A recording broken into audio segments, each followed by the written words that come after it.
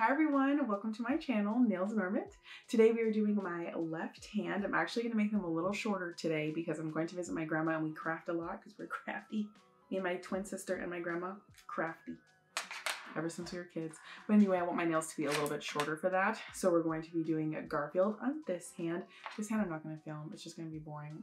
I'm just going to make like silver or something. So just forget about it. But anyway, we're doing my left hand. Garfield, let's get started.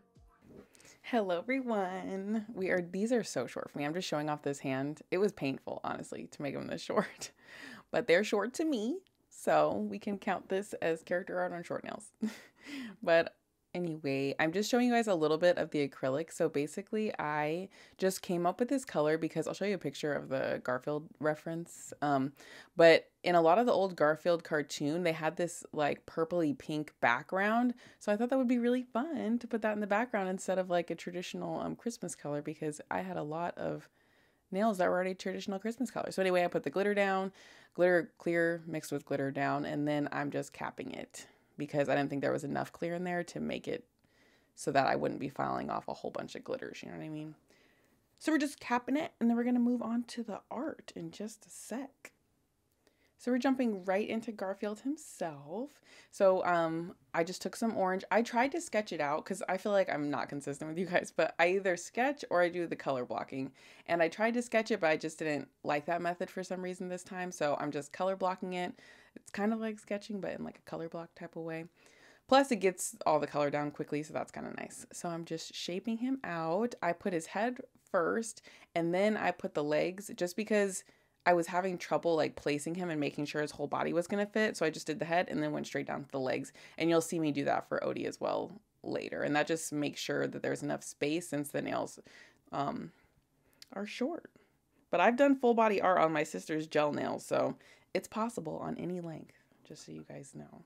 But yeah, throw all that color in there and then we'll move on.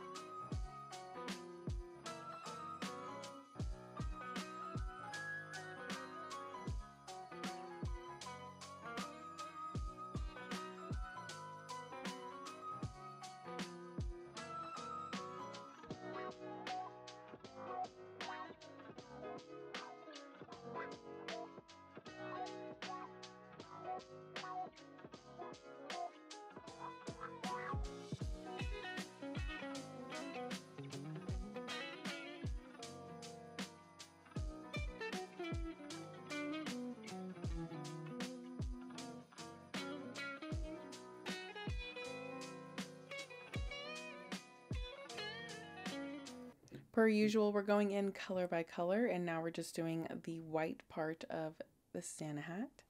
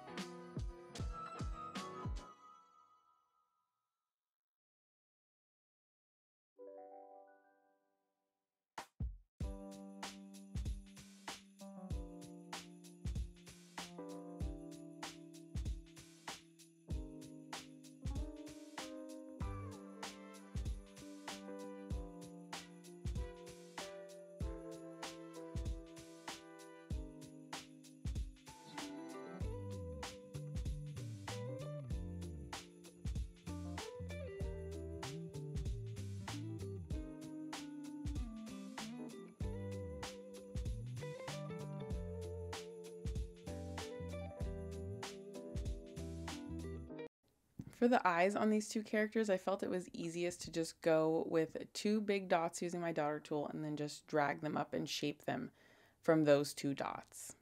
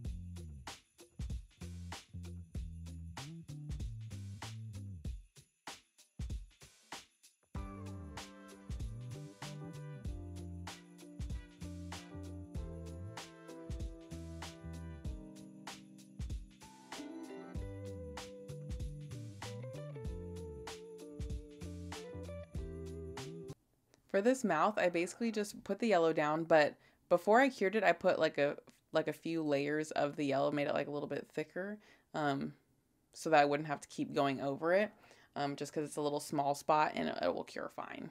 And now I started doing the line work because once you put, there's only so much color you can put down before you have to see the features in order to put more color down. So that's the point where I got to. I need, I needed to see where his feet were, like where his tail was, since it's like really close to the foot. So you kind of have to separate those. And then his little hand that's holding the ornament. So, and then I can start putting more colors like for the ornament in.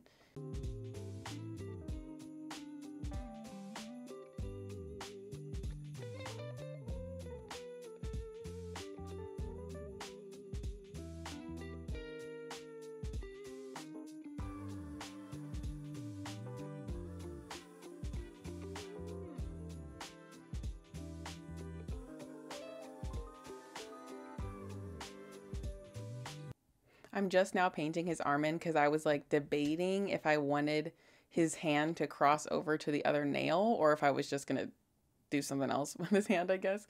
But I decided I wanted to go onto the other nail and that's why I drew it in and then cured it and then now I'm doing the line work for it.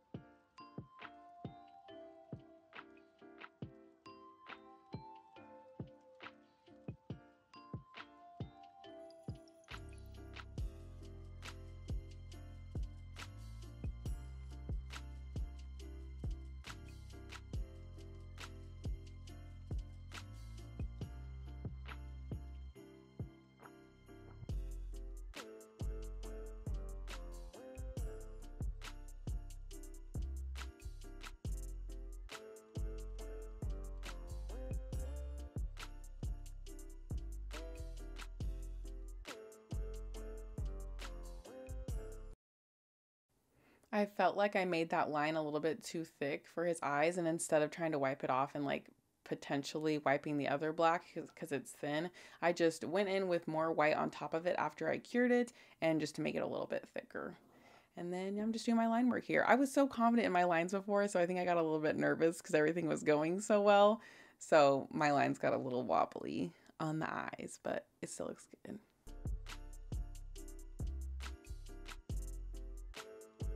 Earlier, I smeared some black, so I was just throwing some white on top of it um, so that the Santa hat fur was like bright white.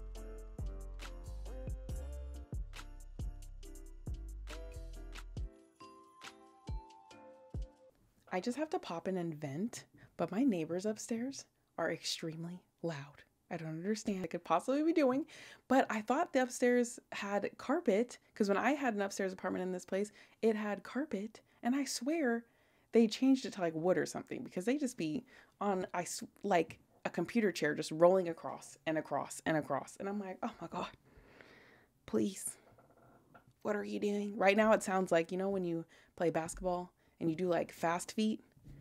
That's what it sounds like. I never played basketball, but I had to go to practice once with my cousins. But that's what it sounds like.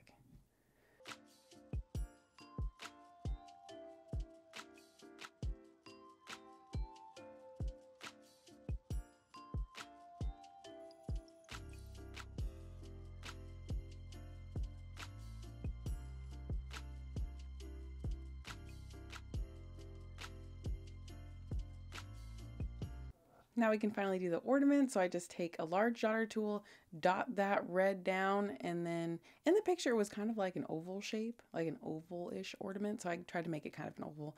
Later it kind of comes out like a little bit like a diamond, but that's fine. Some ornaments look like diamonds. So we're just gonna work with that.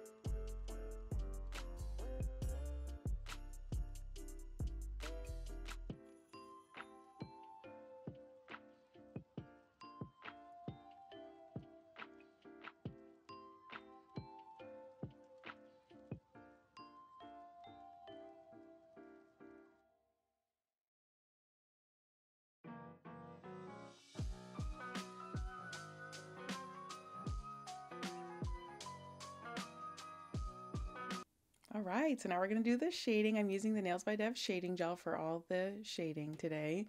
Um, I decided to go in before I did the line work because I thought it would just be a smoother application. But I'm excited that the shadows on here have kind of like a grayish hue on the drawings. So I didn't feel like I needed to go through the process of making like a darker red, a darker orange, like I do sometimes. But yeah, this time, simple and easy. I love the shading gel. It works out great.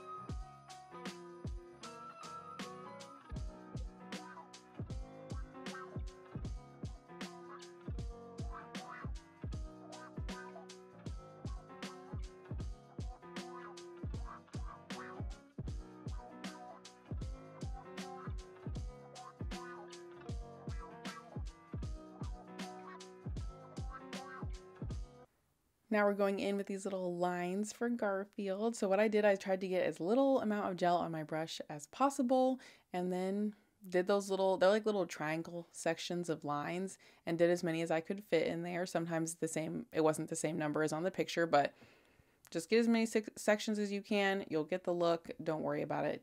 Again, it does not have to be exact.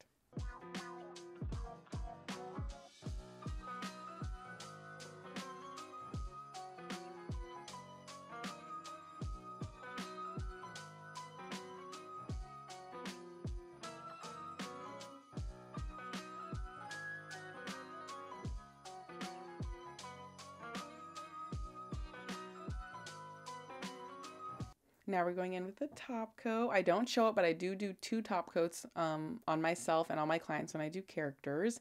So I do that. And then now we're going to move on to Odie. I thought his name was Otis. And I used to watch this. I used to like draw him as a kid. My sister used to draw him all the time, Odie, but we couldn't remember his name. And I looked it up and I was like, oh, sparked a nostalgic memory. But yes, we start with Odie. And at first I do the top of his head to get the placement right. And then um, I do the same thing I did with Garfield and go to the bottom to make sure that I'm getting the whole character and that the proportions are going to be relatively okay.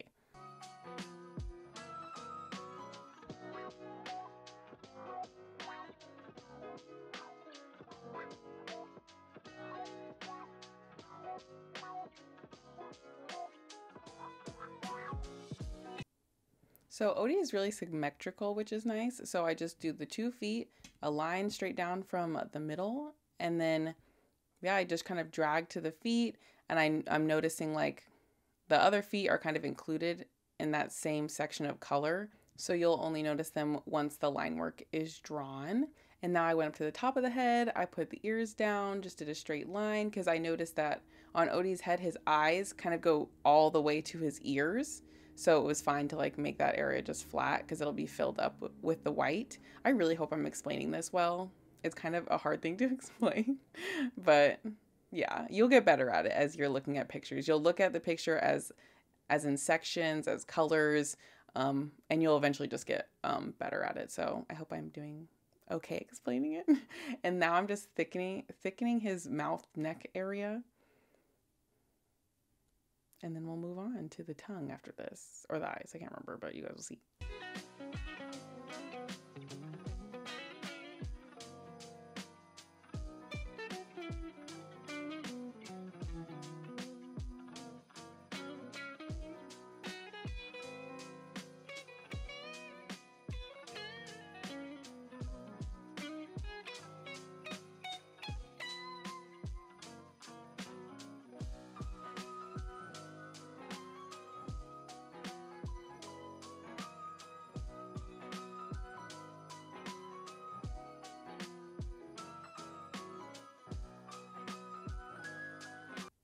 Doing the same thing here as I did with Garfield and taking my large dotter tool and dotting two big lines and then I will shape the eyes from there.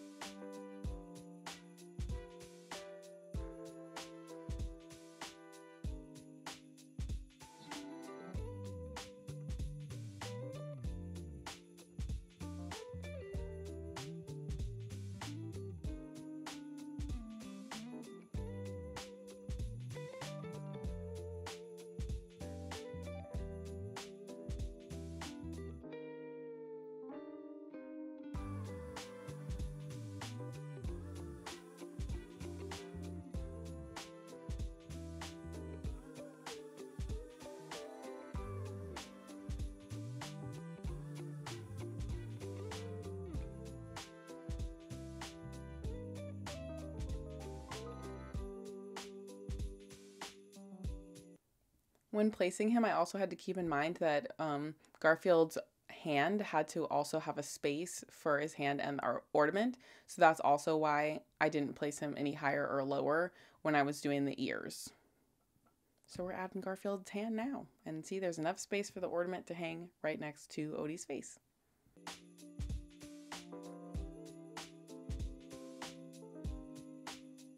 Now I'm adding the green for the string lights. I would have preferred actually to do the line work first and then to do the green on top. That way I don't have to do my line work around the green, but I do correct that and do that it that way for the bottom half of him.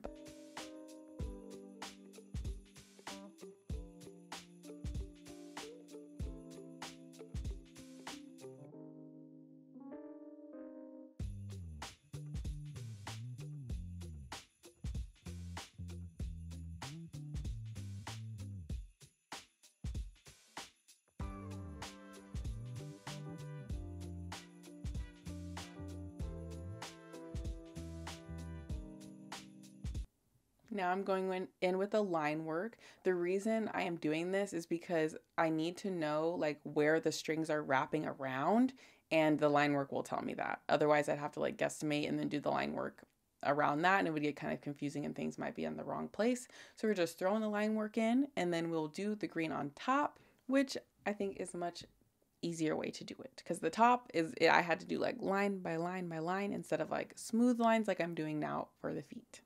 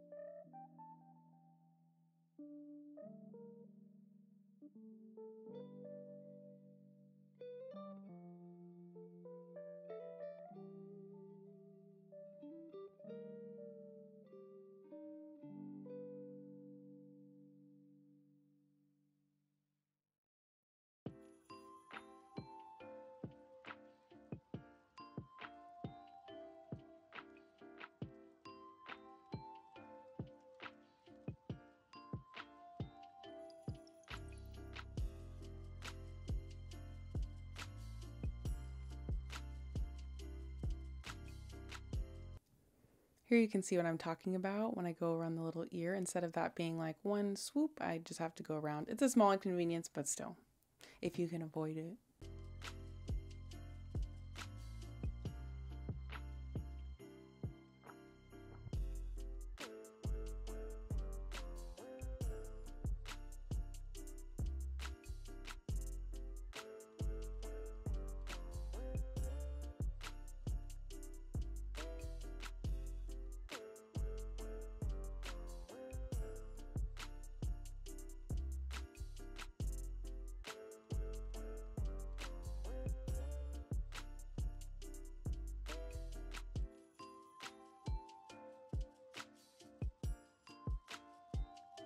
Now we're putting in this cute little star. When I first saw this picture, I'll show you the original, or the picture I'm going off of. Um, it's kind of cluttered in the background, so I didn't even see it until I was drawing Odie, and I was like, this is so cute. So to draw a star, I just put um, a circle, and then I use my brush to just pull out from the middle of the circle and make those star lines. The star turned out a tad bit funky, but I feel like it's perfect for Odie.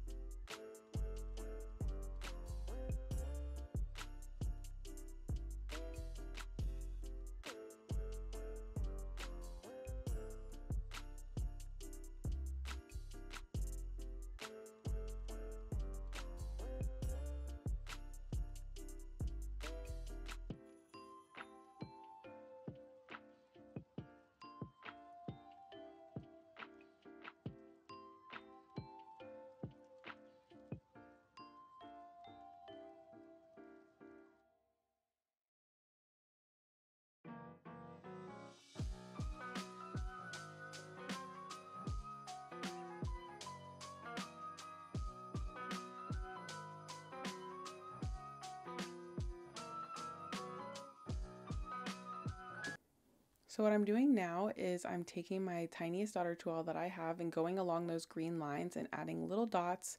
Those are like where the little lights are going to come out of. I just want them to have a designated spot. So that's what I'm doing here. And then I will do the lights after this.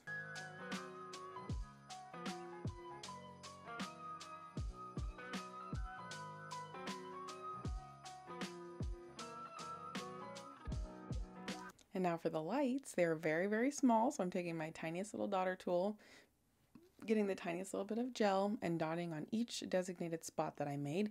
And then you'll see me later, I just take my brush and I pull them out so they're a little bit pointy.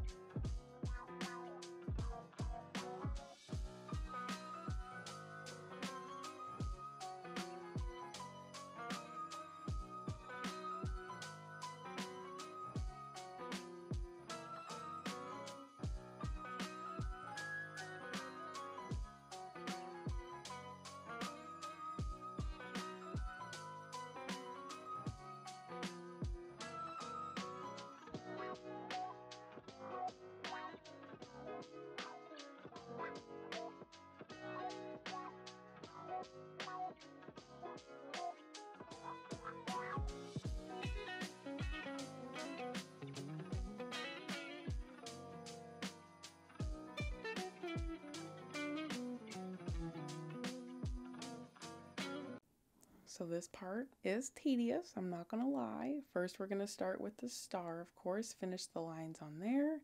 And then we are going to line all of the lights all over Odie. But we're gonna line it in a way that not every single bit is lined. It's just kind of to show emphasis to the line.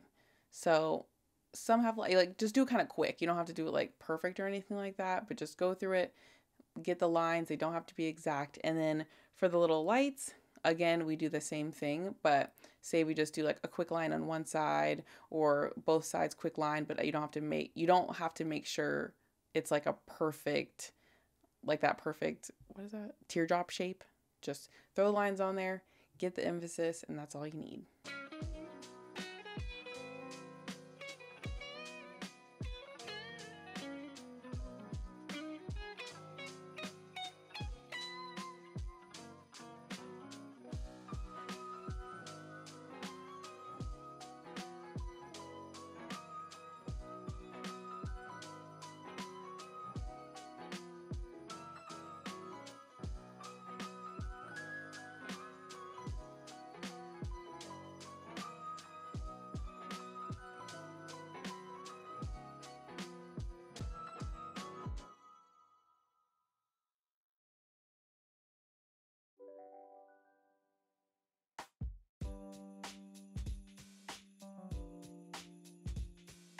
Now we're going in with the shading. This really pulls it all together and we just put the shading wherever the shading is in the drawing.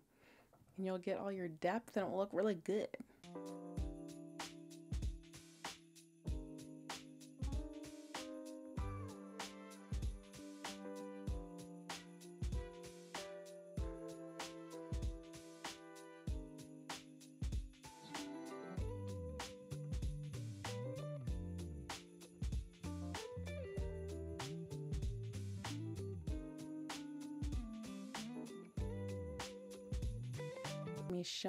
Odie's textures. I forgot to do it on Garfield, but anyway. And now we're throwing that top coat on there. Don't forget to do two coats, two coats. Keep it safe and it will smooth it out so you're not touching all the textures all the time on your nails.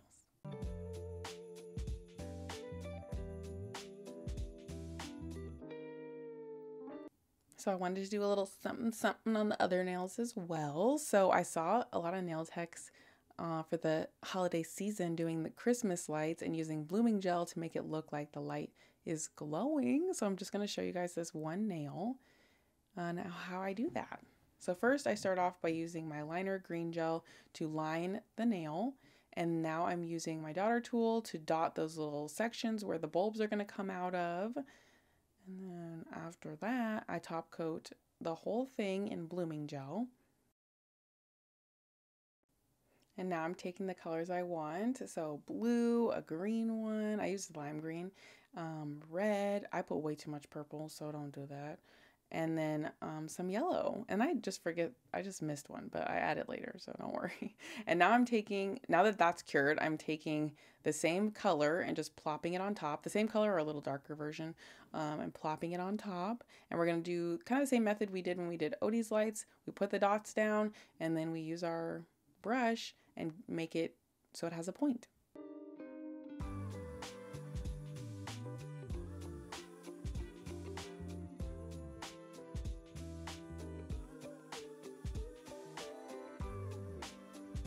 So figuring out the technique I wanted to do for this line work took a few tries.